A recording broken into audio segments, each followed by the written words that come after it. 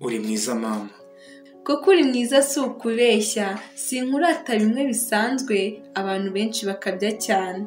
Amezi icyenda mu nda yawe inkweto ugenda wigengeseye udahugabanga ko nk'ubwana. Ngo igihe mvutse ntarareba umfureba neza ndanezerwa ngira ubushyuhe imbeho niyaza imbehe yanjye ubwo ikaba ibere imirimo yawe ndayigutesha imiruho yanjye ndayigukwiza amarira yanjye ndayagutura ariko ukagira uti kirakibondo nzakurata uko bikwiye ibere ryawe n'indahinyuka kuko ndikesha ibyiza byinshi. Amaraso meza ahorana ubusire umubiri mwiza utagira inenge bwa bugingo buzira indwara ngo ejo utazabona nituye. Umurezi utanga urugero rwiza uri nyampinga ukagira ubuntu. Ntabwo urambirwa kuntamika ntujya usiba no kunkorera. Nyir'urugwiro nzagushima mubyeyi mpamo n'impahamuri.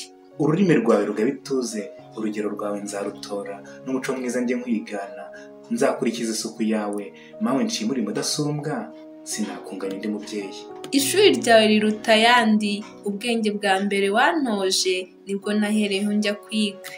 Kutigana afasha n'abandi ibyo mbikesha umutima wawe. Ntabwo uhanga umwuga urukundo utagukunda rugori rwera ntacyo yaba amaze mu rwanda. Mutima mwiza uzira umunabi ineza yawe ivamo urukundo sugira asangurira udasumbwa abo wibyariye tukurate data azaguha urugukwiye rumwe udukunda utizigamiye n'uwaguhanze aguhore hafi azakurinda amakuba yose. Nibyo ndangirijeho none ariko nzongera ngo usubire kuko uri mwiza mawe nkunda.